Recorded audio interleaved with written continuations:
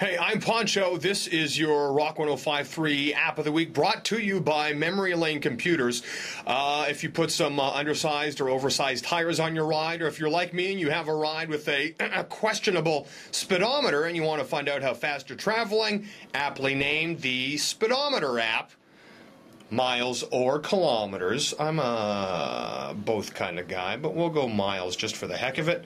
And would you look at that? We're not moving at all. So this is just kind of a neat app. Why you'd want to buy the upgrade for two dollars, I don't know, uh, but it will work at varying uh, speeds, including walking, or heck, even if you're taking a trip to Sin City and you want to see how fast your aeroplane is traveling.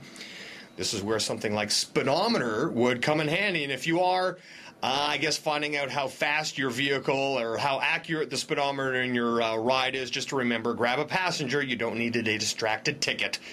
That's your Rock 1053 app of the week. Speedometer.